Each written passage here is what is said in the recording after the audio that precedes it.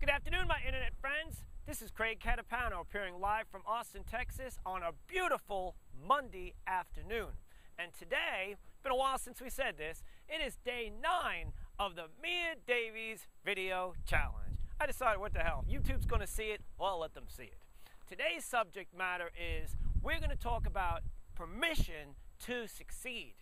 Now, in the last couple weeks, we've been talking about goals, we've been talking about setting goals, we've been playing and all that. But you know what? Today we're going to get real basic and we're going to talk about basically what is it going to take to succeed. Most of the time, people have to actually give themselves permission to succeed.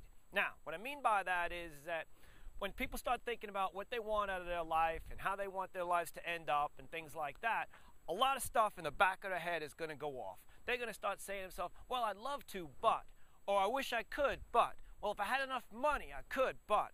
But the bottom line is, none of that matters. What I want us to do today is we're going to talk about what does it take to actually want to succeed. What I mean by that is, what does it really come down to?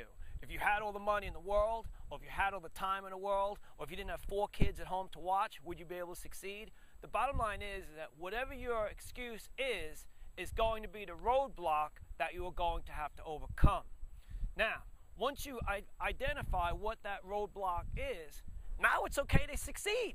So, what we're going to do today is we're going to figure out in your own spare time, break out that pad that we keep referring to, and I want you to write down if if blank, what could you do? If I had all the money in the world, what could I do? If I had all the time necessary, what would I do?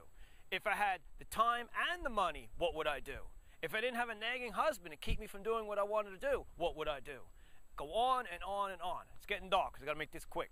So what I'm saying is, is that what I want you to do, this is today's homework, is to identify if the path was completely clear, what would you do?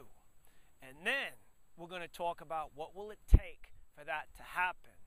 And we're going to break it down in terms of different areas of your life, but it's very important that you get a vision for what it is that you want. Because once the vision is created, the rest is very possible. Anyway, this is Craig Catapano with a quick message from you from Austin, Texas. Uh, do me a favor and go to my YouTube channel and make a comment, rate, the, rate it, and whatever else, and let's communicate. Have a great day. Música